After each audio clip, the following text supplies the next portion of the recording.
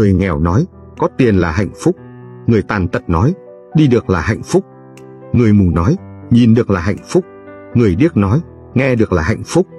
Người bệnh nói, mạnh khỏe là hạnh phúc. Người chưa chồng nói, có chồng sẽ hạnh phúc. Người chưa vợ nói, có vợ sẽ hạnh phúc. Người chưa có con nói, có con sẽ hạnh phúc. Người lo lắng sợ hãi nói, bình an là hạnh phúc. Người xấu nghĩ mình sinh sẽ hạnh phúc. Người lùn nghĩ mình cao sẽ hạnh phúc. Dân đen nói, làm quan sẽ hạnh phúc. Thực ra con người họ thấy thiếu cái gì thì họ nghĩ rằng có nó sẽ hạnh phúc. Nhưng khi có rồi họ lại muốn cái khác và nhiều hơn nữa. Thành ra mãi mãi không bao giờ họ thấy hạnh phúc vì ham muốn là vô cùng. Vậy thì bạn làm sao đủ sức để thỏa mãn ham muốn đây?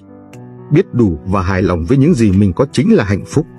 Hay nói cách khác, hạnh phúc không phải là có tất cả những gì bạn muốn, mà là trân trọng những gì bạn đang có